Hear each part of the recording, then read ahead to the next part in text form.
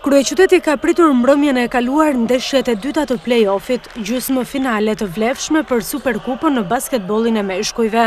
Në këtë betejë sportive, ekipi përfaqësues i basketbollit durrsak, Teuta, ia doli që të mposhte dy herë radhazi Partizanin, dhe të jetë ekipi i parë që preu biletën për në finale.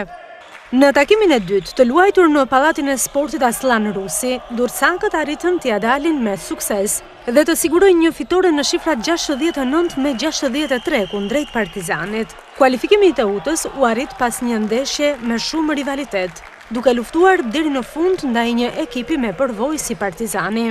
Edhe pse bëri mjaft rezistencë dhe shpresonte në një fitore, në vetëm pak sekonda, Partizani u detyrua që të pranonte humbjen. Teuta arriti që të kryesojë gjatë gjithë takimit, duke filluar dy periodat e para, njëzet dhe pesëmbëdhjetë dhe katërmbëdhjetë me njëmbëdhjetë, ndërsa në të tretën e mbyllën me barazim. Ndërkohë, Partizani ka mundur që të marrë fraksionin e fundit, duke dalë vetëm një herë në kryesim, gjashtëdhjetë e tre me gjashtëdhjetë e dy.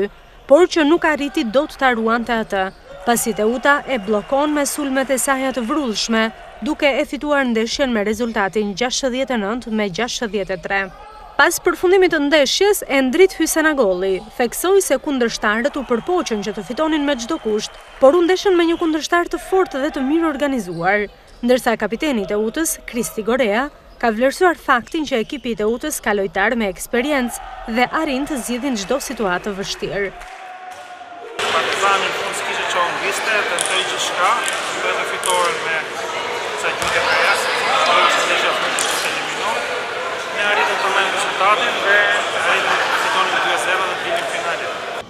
Po gjithmonë është më e vështirë ndeshja që luan në transfert.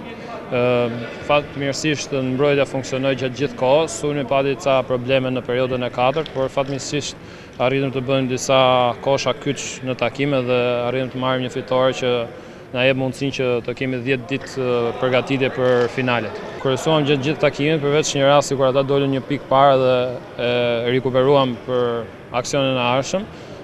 Minutat e fundit ishin mjaft të vështira sepse futen emocionet edhe futet edhe publiku në lojë, kështu që bëhet gjithmonë më e vështirë, por kemi lojtarë me eksperiencë që arrijnë t'i zgjidhin këto situata.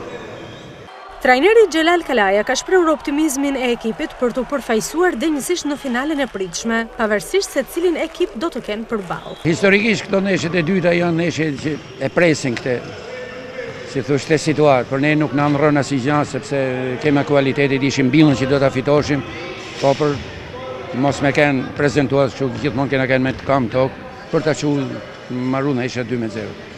Objektivi u realizu, tani të shofim përpara. Ndeshjet finale kanë janë histori tjera.